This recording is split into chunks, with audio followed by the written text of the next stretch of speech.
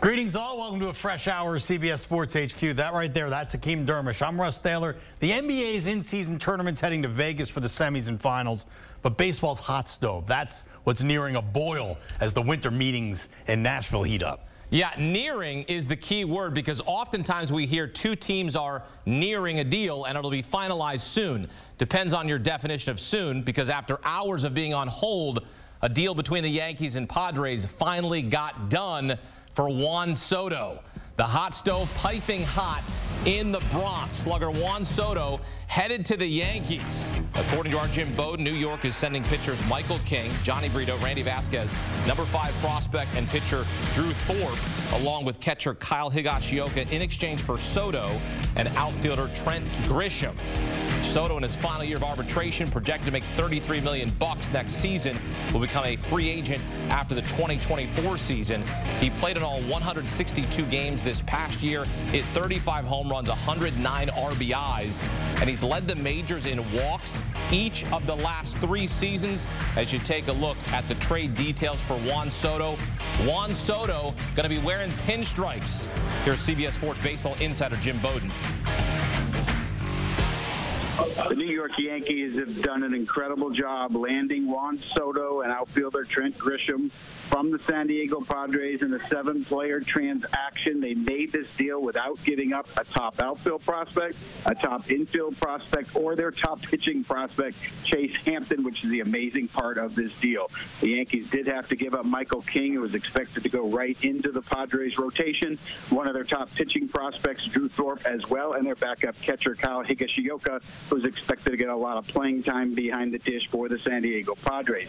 Now, for the Padres, they will save somewhere between 33 and 38 million dollars on this deal, which helps them financially. And obviously, getting this many pitchers in one deal helps them after they had lost five pitchers off their major league roster to free agency. But the big story here is the New York Yankees, who gets one of the best hitters in baseball, a player that always has an on-base percentage north of 400.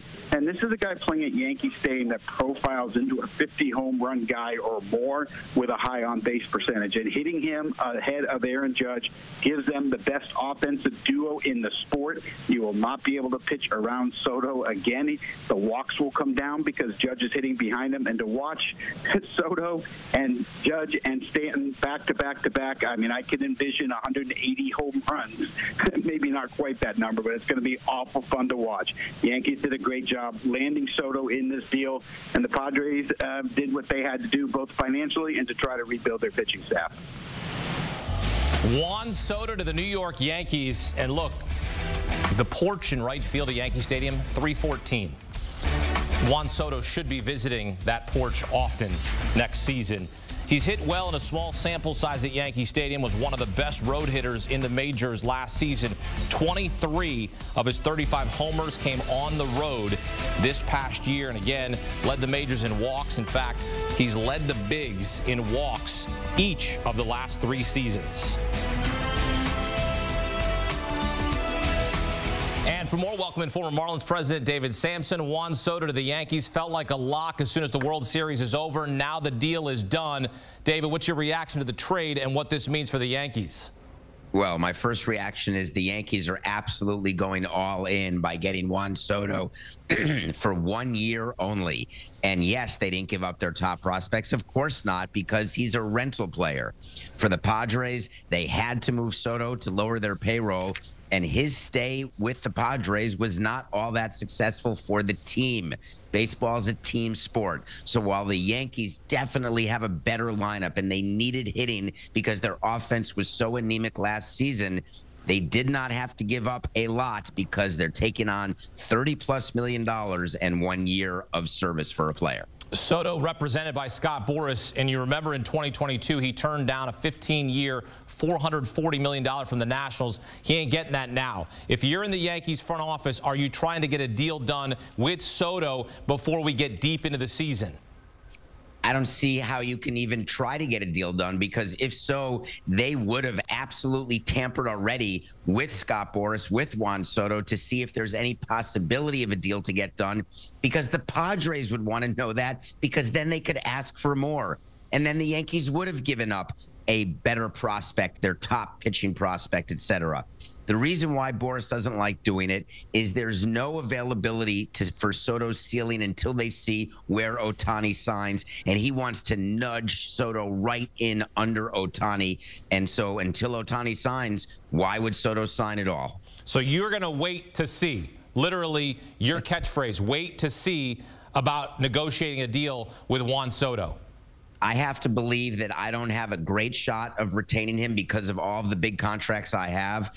And you have to talk about the money here, Dermish. The Yankees are taking on a huge amount, putting them higher over the luxury tax as a repeat offender. There's a huge cost to having a payroll where the Yankees have a payroll.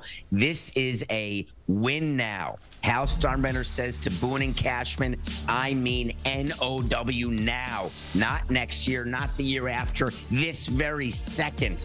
There is so much pressure on the Yankees, and we can ignore the AL East, but that would be at our peril. Yeah, the Yankees have not reached the World Series since 2009 when they won it for their MLB record 27th World Series title. And you mentioned the payroll They've got, of course, Aaron Judge at 40 million next year. Giancarlo Stanton at 32 million. Gerrit Cole at 36 million. Carlos Rodon at nearly 28 million dollars, and it's going to be Soto with another 30 million dollar deal. The Yankees sound like they're okay with going over the threshold of $300 million because they're in the mix for Japanese pitcher Yoshinobu Yamamoto. According to an MLB Network report, he's expected to meet with the Yankees on Monday. Could Soto and Yamamoto be the players that put the Yankees over the top in terms of being a competitor and getting back to the World Series? When you say over the top, they're already over the top. Do you mean over the over the over the top?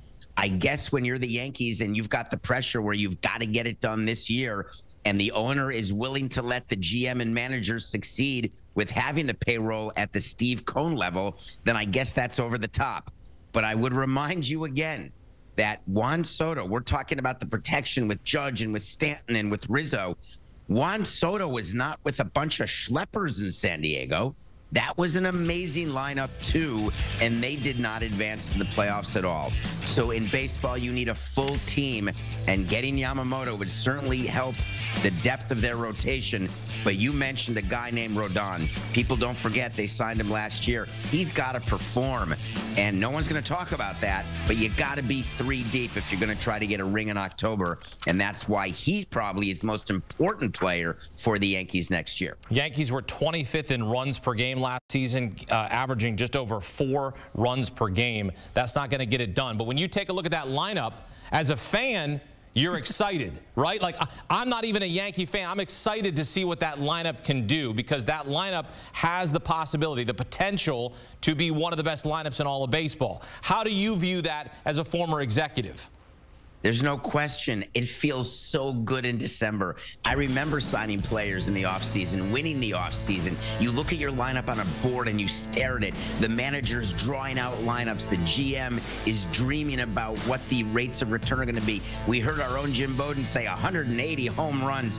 That is awesome how a GM can think during the course of an offseason. And then the game starts, and then injuries happen and lack of performance, etc. But yes, it's good to feel good right now, and that is a great lineup. I would mention the Angels, not bad with Trout and Ohtani, not one playoff victory. It's very hard to win in baseball. It is. It is very hard to win in baseball, but the Yankees making a run here as they get a huge get in the offseason, signing and trading for Juan Soto in a big deal from the Padres. The deal finally gets done. Juan Soto headed to the Bronx. David Samson break it down for us here on CBS Sports HQ.